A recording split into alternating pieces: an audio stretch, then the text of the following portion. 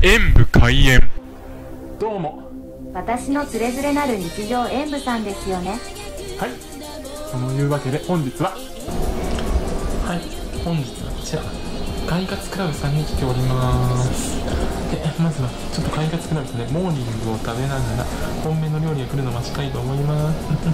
これも美味しそうですね。なんかこのポテト話題になってるらしいです。うちのパンにちょっとキャラメルかけてみました。キャラメルはドリンクバンシスにあります。それでは出す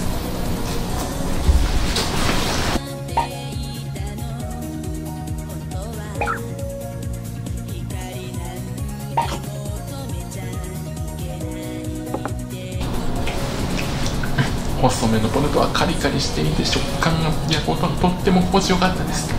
本当に美味しかったですね。パンはシンプルですがそれゆえにチョコレートシロップやキャラメルシロップをかけるとそれがうまく染み込んで甘さが広がってきました。うんシロップの味を引き立て良いパンですね。というわけでポテトはこちら。パンはこちらの点数とさせていただきます。先に言うべきでした。では本命が来るまで。チャンネル登録よろしくお願いします。ました本命トルコスペシャルトルコライス。なんかカリがつのトルコライスは美味しいと聞いたのでぜひ食べてみたいと思ったんですよね。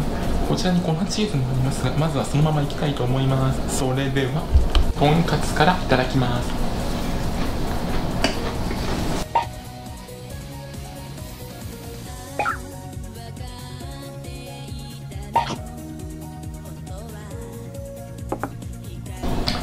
とんかつのカツはサクサクしていて肉の旨味もあって美味しかったですしプレミアムカレーも結構な刺激がきましたね。